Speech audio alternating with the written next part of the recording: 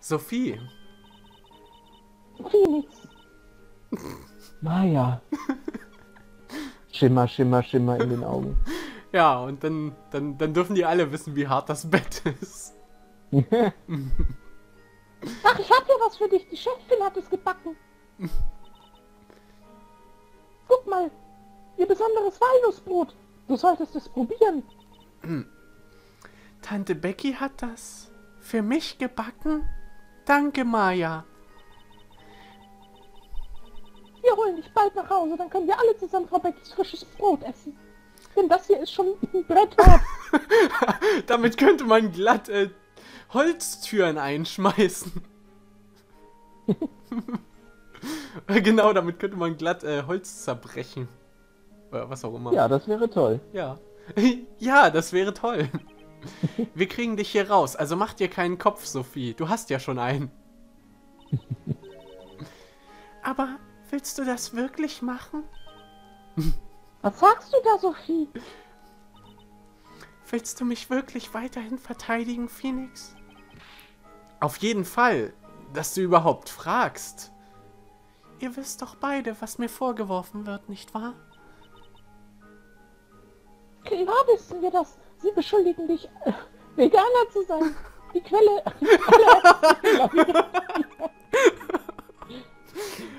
Das, das behalten wir so. Vielleicht kommen da noch ein paar lustige Sachen bei raus. Und alles wegen Hugo. Genau. Zu viel davon kann schädlich sein. Offensichtlich. Hugo ist auch ein alkoholisches Getränk. Ich würde keinen. Hm? Ach so, dieser Hugo! ich dachte jetzt der Hugo, den du gestern in die Kamera gehalten hast.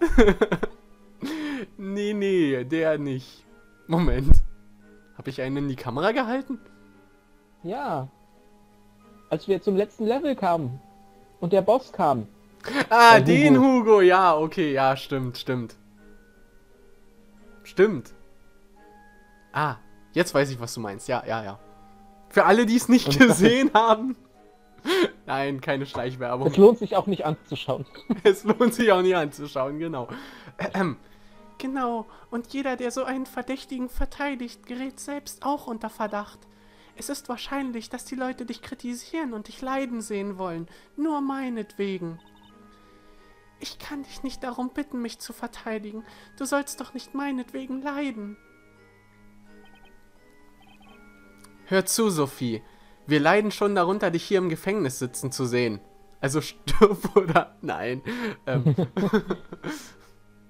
ähm, das bedeutet Leiden. Äh, das bedeutet Leiden für uns. Wie kommst du darauf, dass wir einfach herumstehen und Däumchen drehen könnten? Phoenix. Sophie. Maya. Luke. Aber Herr Professor.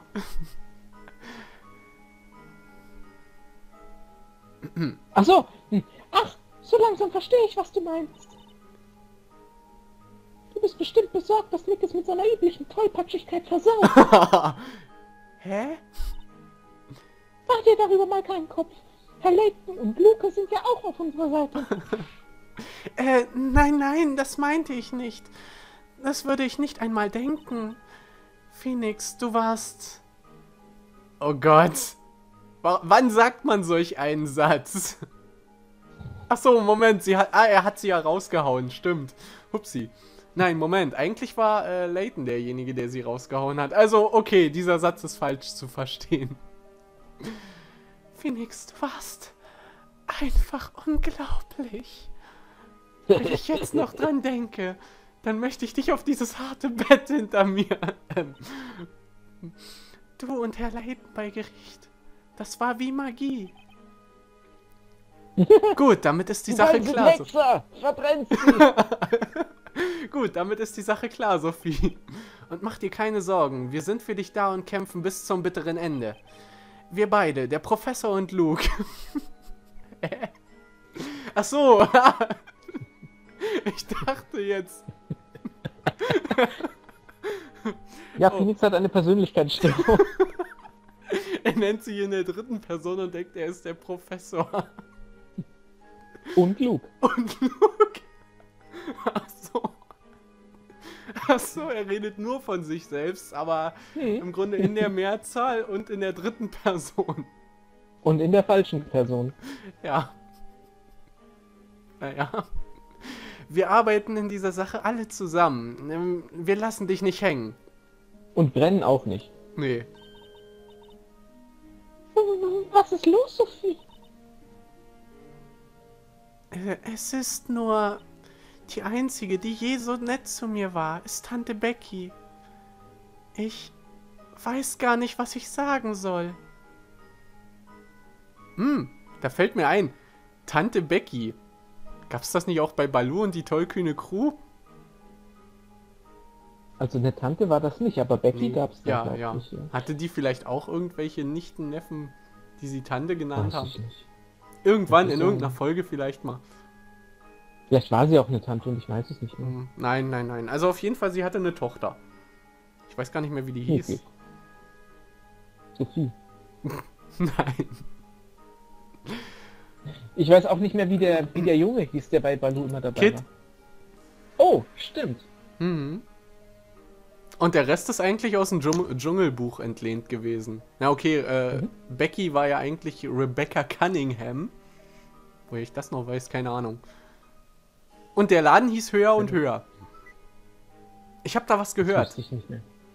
Ja, das war mein Handy. Ah, ah, ja, ja, das klang auch so.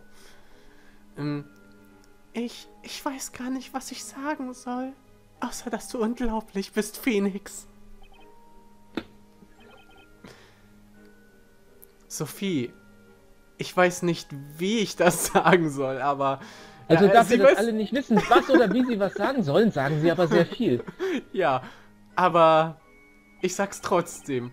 Anscheinend distanzieren sich die Leute aus der Stadt von dir. Als ob sie aus irgendeinem Grund Angst vor dir hätten.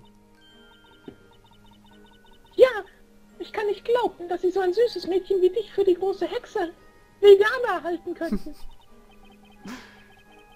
Sophie, wir haben von Großinquisitorin Gloria gehört, dass es einen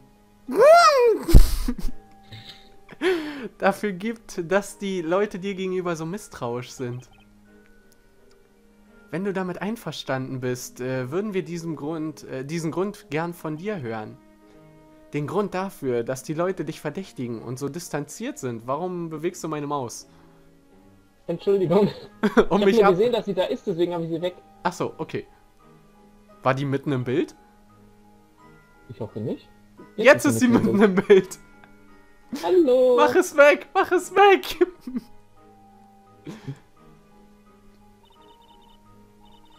In Ordnung. Ich hatte wohl nie Gelegenheit, es richtig zu erklären. Aber ich bin die große Hexe Veganer. Hä? Es stimmt, dass die Leute aus der Stadt mich mhm, betrachten. Und der Grund dafür ist, dass ich... Jetzt bin ich gespannt. Und ab zu Layton. No. Cliffhanger. Also, Professor, Jetzt bin ich nicht mehr gespannt. Jetzt bin ich nicht mehr gespannt. So. Hey Luke, hattest du nicht auch das Gefühl, dass jemand, äh, äh, oder äh, hattest du nicht auch das Gefühl, als ob jemand äh, sich für dich ausgegeben hätte an irgendeinem anderen Ort?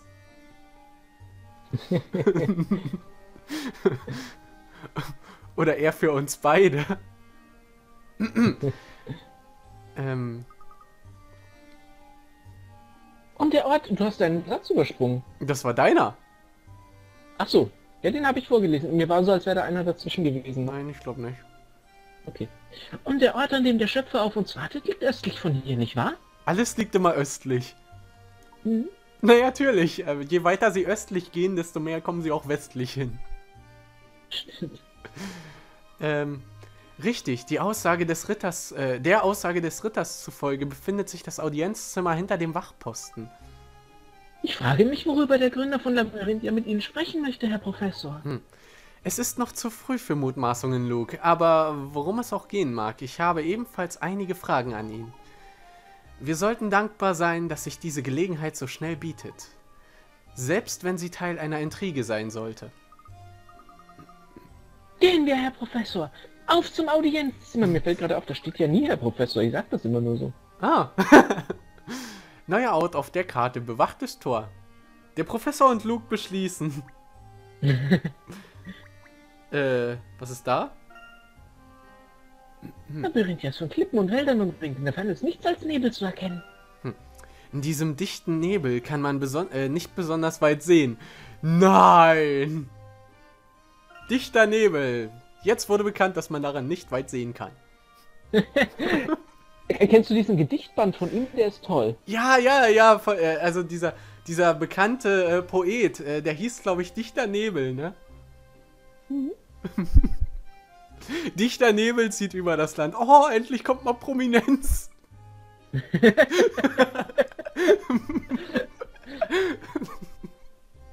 Dieser mysteriöse Ort sowie der angrenzende Wald werden von dichten Nebel eingehüllt.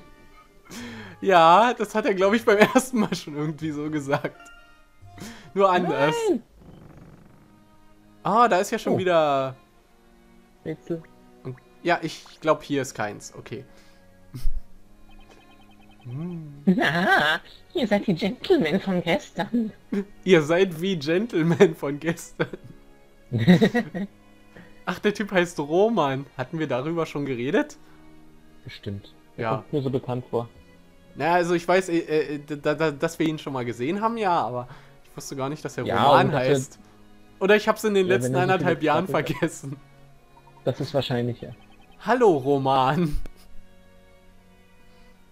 Nee, ihr erinnert euch sogar an meinen Namen. Ja, der steht ja auch da. Sonst hätte ich das nicht gewusst. Vor allem nach anderthalb Jahren weiß der Professor das noch. Ja, dafür sind Speicherstände gut.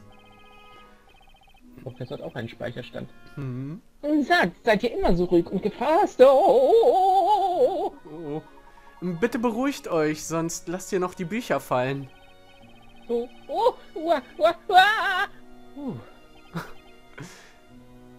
Es hat mich zuerst wirklich überrascht, als ihr das lieber Magie ausgeliehen habt. Wie haben wir das denn ausgesprochen? Magie. Lieber Magie. als Knorr. ja. Scheinpilzcremesuppe von Maggi Meisterklasse. Das machen wir mal wieder. oh Mann, das hatte ich ja fast vergessen. Das war so schön. Okay. Ah, übrigens, ich habe letztens in der Werbung wieder was gesehen. Ich glaube, das war wirklich von Knorr. Da gibt's wirklich eine Cremesuppe. Ja, sicher gibt's die. Nein, aber ich meine, ich habe ich hab auf YouTube ja mal geguckt und da habe ich eine ganz alte Werbung gefunden, aus der ich das gebastelt habe.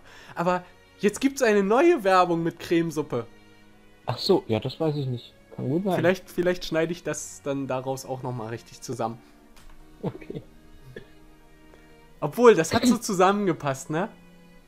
Also von den Ja. Stimmen her auch. Das hat man fast gar nicht Stimmt. gemerkt, dass, das, dass sich das ändert. okay, aber wir können das leider nicht abspielen, denn wir haben gerade die Sounds nicht. Wir brauchen die nicht. Ich müsste die noch haben sogar. Mhm, ja, ja. Ja, ich habe die auch irgendwo, aber ich, hab, ich kann sie gerade nicht aufrufen. Ich kann das machen für dich. Warte mal, ich habe ja deine Ja. Maus. Wow. Nein, lass mal. Machen wir weiter erstmal. Das können wir in der nächsten Aufnahme mal uns überlegen. Doch ist dann an jemanden zu verleihen, der in einer Bäckerei arbeitet. Aber der Professor hat die Erlaubnis bekommen, also ist das doch kein Problem, oder? Ich glaube nicht. Und ohne das lieber Magier wäre es schon eine, äh, wäre schon eine Unschuldige verurteilt worden. Mhm. Nun ja, das mag sein. Meines Erachtens sollte Herr Wright, äh, Mr. Wright, äh, mh, das ist echt Wir sollten uns schwierig. auf was einigen. Ja, eigentlich, ich glaube, hier ist Herr besser an, angebracht. Okay. Weil äh, das ist alles so altertümlich und Professor Layton ist ein Gentleman und und ich glaube nicht, dass irgendein Gerichtstyp, äh, der auch äh, eher so mittelalterlich angehaucht ist, äh, ja, den Typen Mr. Wright nennt. Wobei, ja. Ja, Okay, nehmen wir Herr. Herr. Äh, meines Erachtens sollte Herr Wright äh, selbst sehr wohl in der Lage sein, Fräulein Büchen das Rätsel zu lösen. Ich bin mir dessen sogar ziemlich sicher. Sein Auftritt im Gericht hat mich gestern wirklich überrascht.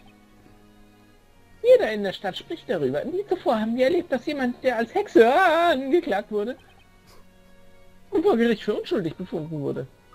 Tatsächlich. In Da der frage ich Tat. mich, ob die Leute... Da frage ich mich, ob die Leute, die bisher ins Feuer geschickt wurden... In welches Feuer? In das kleine das Feuer? Nein, in das kleine Feuer, in das mittlere Feuer, das große Feuer oder die, das gigantomanische Feuer? Da war ja was. Ja, wenn man so zurückblickt, es kommen ganz viele alte Erinnerungen hoch. Wirklich alle Hexen waren. Rede bitte nicht so unbedacht. Man kann nicht einfach herumlaufen und so etwas sagen, sonst zieht man den Zorn der Ritter auf sich. Okay, der hat uns jetzt irgendwie nicht viel gebracht. Und hier auch kein Rätsel.